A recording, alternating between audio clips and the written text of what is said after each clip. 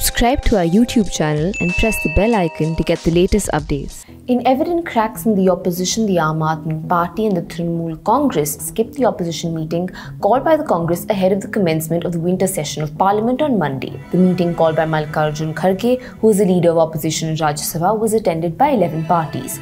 These were the RJD, DMK, NCP, CPI, CPM, IUML, LJD, NC, MDMK and RSP. While the TMC and EA AAP stayed away from the opposition meeting, many members of Shiv Sena also away due to Sanjay Raut's daughter's wedding. However, according to sources, Shiv Sena leader Vinayak Raut was very much present. Congress leader Adhir Ranjan Chaudhary said that if parties did not want to be seen as opposing the government, it was up to them. This is Jayati Krishnan watching Politicker.